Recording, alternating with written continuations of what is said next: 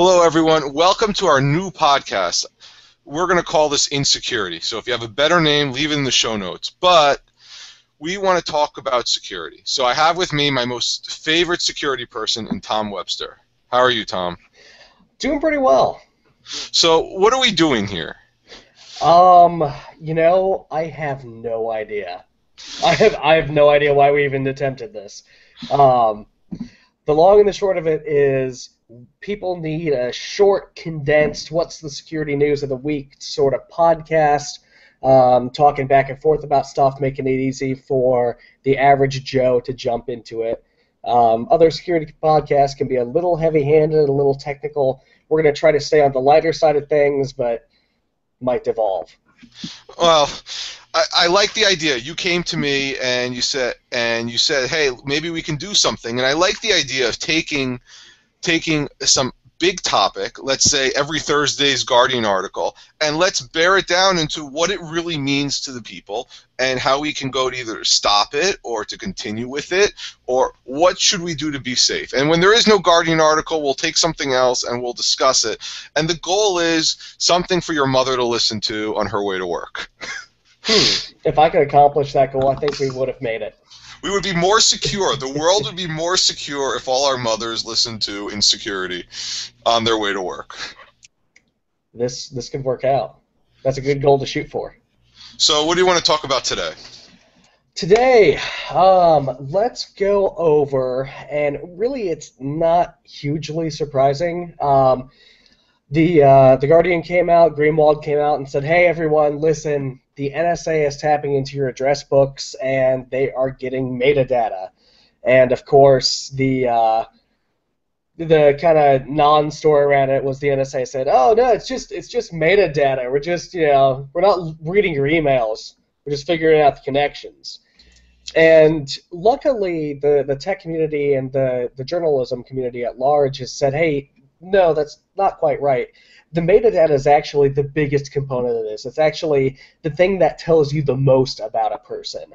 Um, there was a, uh, I believe I was listening to NPR this morning, and someone was talking about. It. They said, "Hey, look, it, just by looking at my metadata, just by looking at who I'm calling or who I'm emailing, you can tell if I'm going for a competing job offer, if I'm seeing a psychiatrist, if I'm having an affair, and you know." The third one, you might say, oh, well, you should get busted having an affair. But the first two, I don't really want my company knowing that, you know, I'm out shopping around for better jobs. It doesn't really do anything good for my career at the present day. And if you're going to see a psychiatrist, that's that's privileged information. If you're talking to a lawyer, that's also privileged information. No one should know that. So it's it's kind of a big deal, and at the same time, we kind of already knew this was happening. Well, I mean, when I heard about it the first time, I initially shrugged it off as, oh, it's metadata. Like, who really cares? And I, like you said, you thought about it. It's not the content. I mean, if I'm, if you're right, if I'm talking to a competing job company, it doesn't matter what the email says. It just says that I'm talking to somebody. We clearly got the idea, whether it's accepting a job offer, denying a job offer, anything like that. And and you start to wonder, who's not who's allowing this, but why aren't more people like really angry about all of this. And I just think it's because they take it like how we took it before, or I took it before. Who really cares? The contents of the email, that's the important part. But they, they, they don't seem to think that way. Um, one other thing that uh, that came up that I forgot to put in our show notes, um, kind of a huge, huge story, which was awesome, is that uh, it's finally come to light that because you know um, in the big congressional hearings, we heard, oh no no these these uh, surveillance programs have stopped 54 terrorist plots. Good I did number, hear that. Right? Good number. I heard that. Everyone heard that. They were just like, yeah, okay. I still don't agree with it. I still think it's wrong. I still think you're doing us a great injustice. Thank God it's not completely worthless. You should stop, right? Because I mean, come on, more people die in airplane crashes per capita than terrorist attacks. It's well, look, if it actually stopped a large amount of terrorist attacks, then then may, maybe, maybe, maybe we can talk. But right, uh, maybe. I'm not saying let's have a conversation. Let's at let's the very the least, at the very least, it offers a talking point. Let's let's use that metadata to figure out what our conversation is. If we're going from there, Right. but but you're you're focusing you're re- you're reducing all our privacy, all our security to zero just because because yeah, terrorism is sad when it happens when it happens and it hits home. It's sad compared to a car accident, which we kind of pass off as a normal way of life, and and that's the problem. And going back to you're stealing address books. I heard buddy lists, and my first reaction was, when was the last time I used a buddy list? if you want my AOL screen name, maybe I'll give that up. But but yeah, they're going through our address books, and somebody did the math. They said that they can uh, they're going to go three degrees of separation on a thousand people. If you have a thousand people and they do three degrees of separation, that's a billion people, Yeah. and that's a that's more than the number of Americans that that they're not spying on, right? Right. So I, I mean, you you look at these numbers that they're touting, and you know, on one hand, it's it's a big measuring contest, right? It's oh no, we can we can surveil this many people, but we're not spying on you. Really? No, no, you you're protected. No, you're you're good, dog. Don't worry. Um, for you know, 54 terrorist plots foiled, and actually, it uh, it was awesome. It came out that they said, well, it wasn't really 54. It was more like one or two. Yeah, definitely more like one or two. Maybe one, could be two. Definitely one or two, though. But we had the workings. We had some details ahead of time. Yes, yes. Well, you see, what, what we're doing is we're making fun of them stopping. We shouldn't make fun of them stopping it. We should focus on what they're doing all of this and for what. They're they're they're accessing, they're tapping us upstream, they're they're stealing our metadata, they're doing all this and they're saying it's for terrorism. But w- what are they trying to do? And and now they're taking our address books. Like it's so now if we in the future commit a crime, it, this is pre-crime from uh, the Tom Cruise movie. yeah, that's what they're doing. Report. From yeah, so they're taking now. What's the significance of? I mean, what's the real significance of taking the address books? I mean, let let's let's break it down. I guess. I mean, wh- The- what are we doing the- with that? So I think the biggest significance for any normal person is no matter what your method of communication is, no speech and at all, no speech is under special protection. Uh, you could so no one really thought that, you know, okay, I my grandmother calls me every year on my birthday. So what? Yeah, the NSA can listen into that, but do you really want the NSA, or especially if you're going for a job with any of the government agencies, do you really want them knowing your psychiatric background?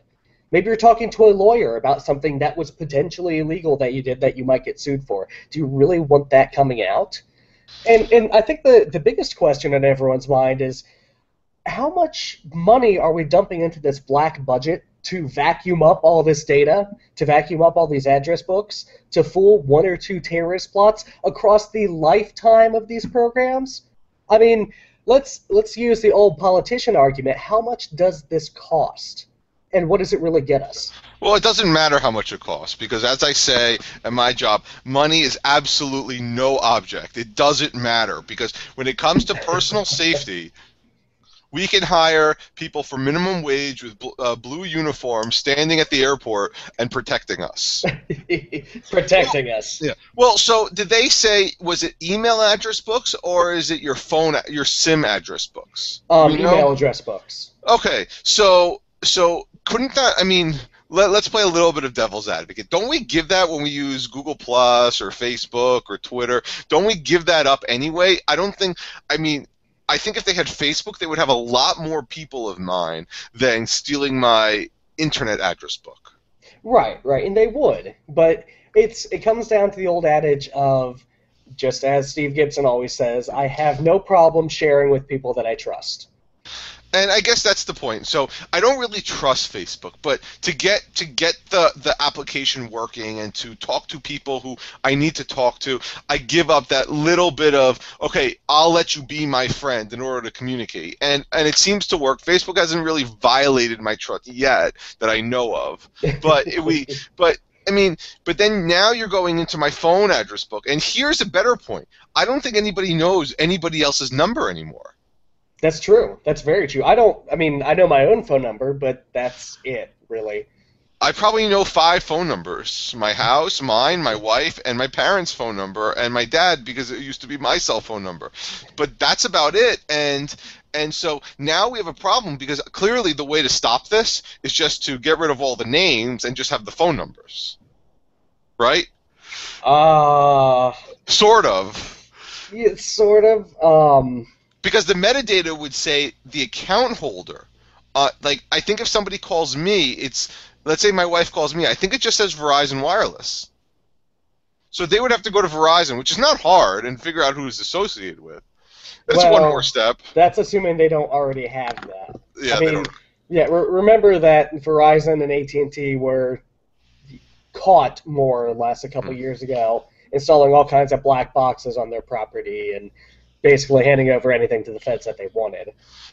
So our burner phones. So now we can't store anyone's name in the contact book. We can't obviously give them a different moniker because that's just uh, that's just doing nothing. It's it's shining. It's putting lipstick on a pig, I guess. Right. Uh, I guess we have to do the burner phones. But then I read something that the NSA has an issue with that. hmm I I don't know if it's going to affect, but um, there was rumor that, or maybe it has become a law already, that you have to identify yourself while purchasing a burner phone. It will not be activated unless you can give a traceable ID. Uh, okay. So I, I think what we have to do is we have to go straight up XMPP. We've got to go right through Jitsi. We've got to go through a bunch of open source shit with a bunch of encryption protocols because email is unsafe. Phone calls are very unsafe. Um, I mean, there's there's not a lot of ways to send semi-anonymous messages anymore. Everything is way too traceable. And PGP makes it better, but the metadata is still there, right? What about what about a letter? I mean, I thought that was one of the rules. They can't touch the letters. They they shouldn't be able to touch the letters, but I mean, they shouldn't have been able to touch our phone calls, right? Well, but I think that the remember who runs the federal government runs the mail, and if I touch, God forbid, I touch my wife's mail and it like falls out, and I have to clean up all those Valpak coupons. I mean, I can be thrown in jail for that, right? Yes. Now remember, um, so I, I did some sleuthing around way back in the day on the Silk Road forums, um, and no one on recommended shipping actions, no one said, "Oh yeah, go UPS or go FedEx." It was always you have to send USPS no matter what because they require a warrant to open a package. If that's still the case, sending a letter is probably your best bet. So all our communications from now on will be snail mail. Yes, yes. Yes. We're gonna go back to the 1920s with this one. Well, what about the old uh, Nextel technology? I guess that was just in, that was just in, that was just radio waves, right? Yeah, do it was- the, the It was analog cell. Um, I mean, if you can get those to work, but that's it's analog traffic. It's easily picked up and So- sniffed. So, so there's no. So we're going back. We go full circle. There's no effective secret way to communicate unless we're using one-time pads and. If you can do um, sort, if you can do a, a key-like system or like a Diffie-Hellman type system um, over ham radio, you might be able to get encrypted traffic past the NSA. Uh, I mean, they'd still intercept it, but they may not know what you're saying or to who. Maybe we need to look. Maybe the ham radio is the way to go because who would think to to, to scout the ham radio callers? We I mean, all they're doing. a terrorist group full of ham operators. Uh, they're the ones supposedly saving our lives.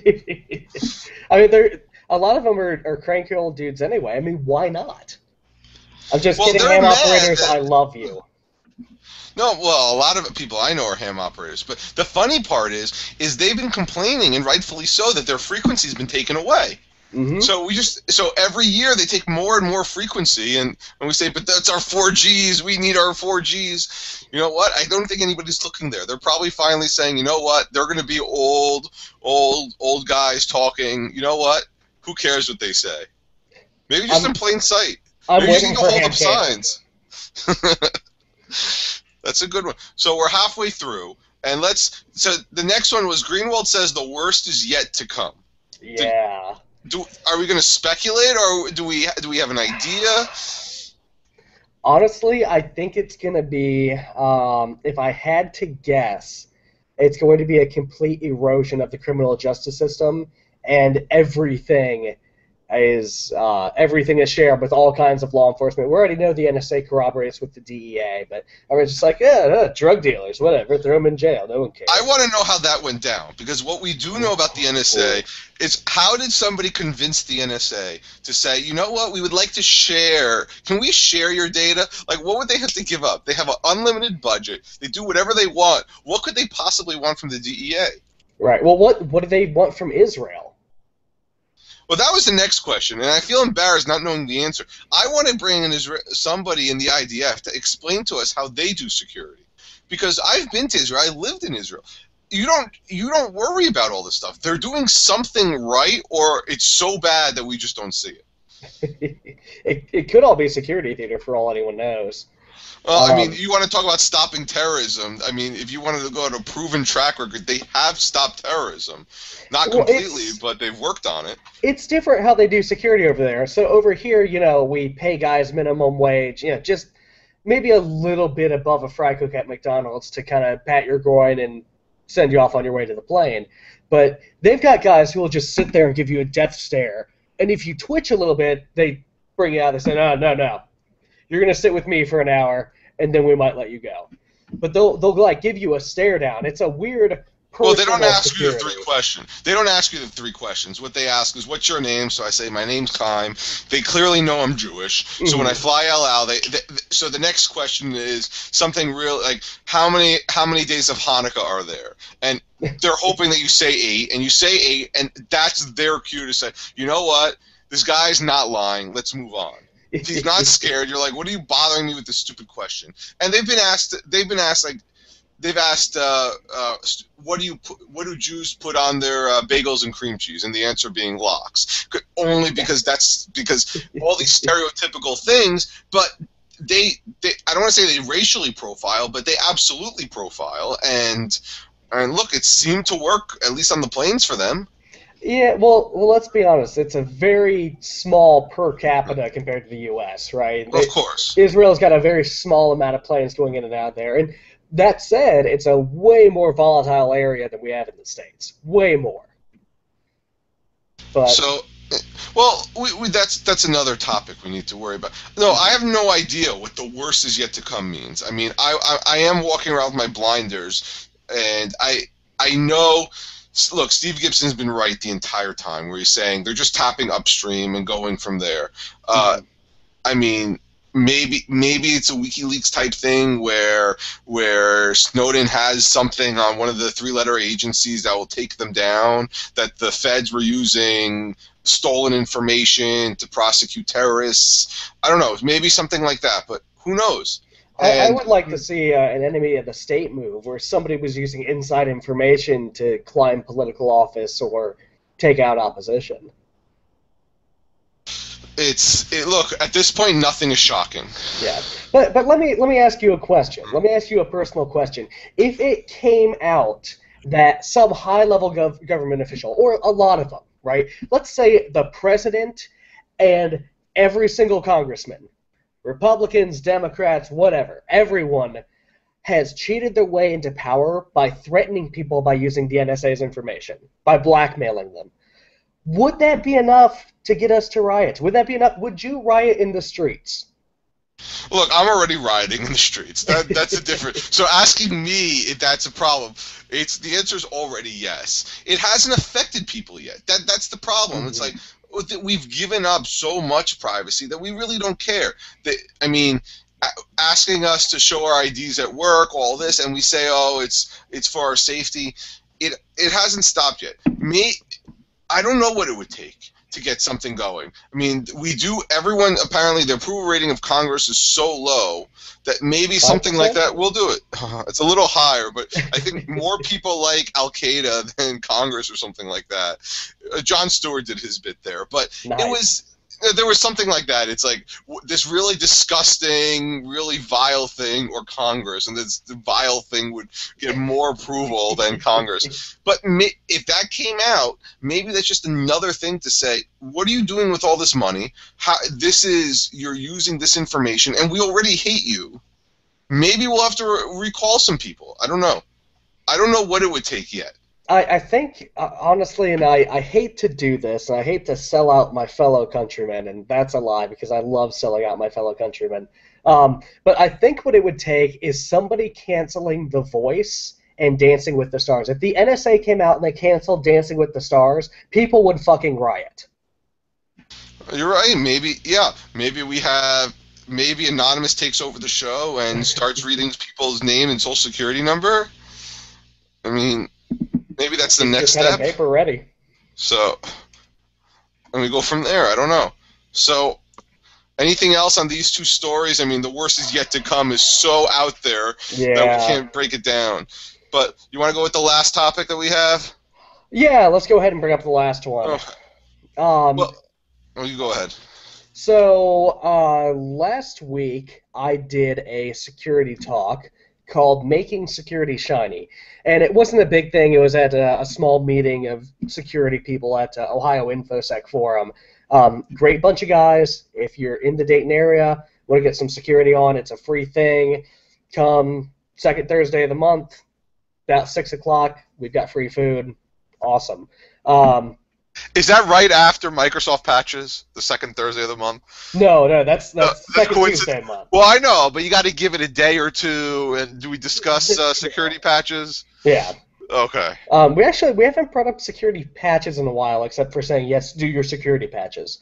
Um, but it's everything from you know hacking Wi-Fi to uh, breaking perimeter security with uh, actual radios like guard radios, which was an awesome awesome talk. Um, but I decided to give a presentation on um, UI and interface design for security applications called Making Security Shiny. Um, and I totally don't have my website up because I'm a terrible, terrible co-host. So let me do this, and boom, my website down here. You can go there to grab the talk. Um, it's uh, it basically centered around um, pointing out different security applications, how they lay things out, how they're absolutely terrible, um, and the worst offender being PGP or GPG of all of them because have you used GPG? It's Apparently a train not. wreck. Well, nobody has. That's that's the problem. Right. If, if you could make an encrypted email program look something like Dropbox, it'd be perfect. If you could make it look like Notepad or Paint, it'd be great. We need a one-button action. We need a call to action that says encrypt right Yes. here, and with a back end that, like you said, there's a wizard. And I, I, I looked through the slides, so I didn't hear Tom's talk, but I went through the slides and I said he's absolutely right to explain. Just to explain even two-factor authentication to somebody, which which is very close to almost being mediocre. it is still very painful. And how to set it up and when to use it and application specific passwords to the point that people just give up. And they say you know what? I, I i relinquish my rights. I get it. I'm on the internet. I'm the product and we move on. Yeah, it's um one of the examples, and probably one of the strongest examples in that talk. Um, uh, and it looks like we lost him. Um, give me just a second. We're gonna try to get him back.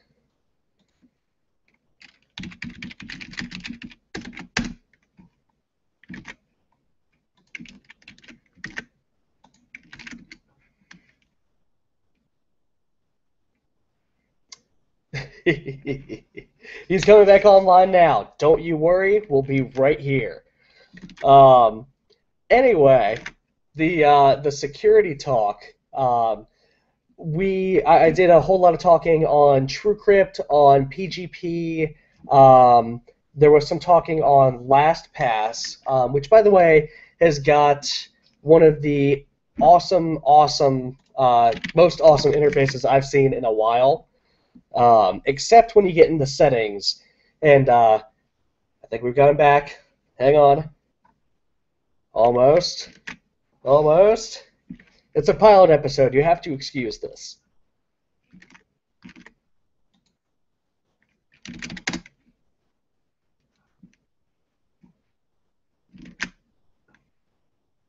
Almost got it. There we go. Okay. I filled some space. oh, Uh, I, I dropped or you dropped? you dropped. Okay. So good. I think YouTube still holds it. Okay. Yep. Um, so, what where's that? Oh, yeah. So, um, the interfaces, I talked a lot about uh, TrueCrypt, which has major, major issues with way too many buttons. It looks like a big engineer's control panel. Oh yeah. LastPass. I mean, even LastPass, and I saw that LastPass is another good example. People want shiny, and they they want it nice. Like 1Password works, but only on a Mac. And I know they have a Windows equivalent, but it doesn't work on mobile. But it does, and you got to pay for it. And as soon as you have to start paying for something, and you don't know the encryption behind it, you kind of give up. Right. And honestly, LastPass was one of the best interfaces in that deck. It's when you get into the settings and there's there's a switch, there's a, a, a text field that lets people hurt themselves if they type the wrong thing in. And that's not okay. And it's not like a delete this account button or anything. It's if you set this value this arbitrary value with this weird acronym too low, your account will be brute forced it's very bad. Well, it was scary. I mean, it and what I liked, and I don't know if you remember this, is when they finally implemented that feature. They started everyone at zero instead of the recommended Yeah. five thousand, and I was like, "Why don't you just put it at five thousand if that's what you're recommending?" Exactly. And uh, I, I actually went into that into my talk where I went into my settings, and I think I had set it manually to a thousand back when that's when they were what they were recommending, and they quickly jumped it up after uh, people started using GPUs to crack hashes. And I said I went into my settings. I was just like, "You're recommending this number, and I still have this one. Why? It doesn't hurt me at all that you would change this." But Well, maybe if you're doing it on an old 386, I don't know. ah, um, Maybe you're on a Chromebook and and the processor, or you're on your phone, or you you're using I've, a Nexus One. I've, I've pulled this up on Windows 2K Pentium 2 machines before. LastPass is a beast. I mean, it works somehow. Um, but I mean, even even the best of interfaces, or even the most what you would think are the most simple of programs, such as like Eraser. Um, Eraser is a program that lets you securely erase files. Um, you open it up, it's got this big long task scheduler interface, and you have to create tasks and it, to erase one file, you, you create a one-time task and add to the list, and then have to hit play on each individual item. Why? Give me a flaming trash bag that I drag stuff into, and get rid of it.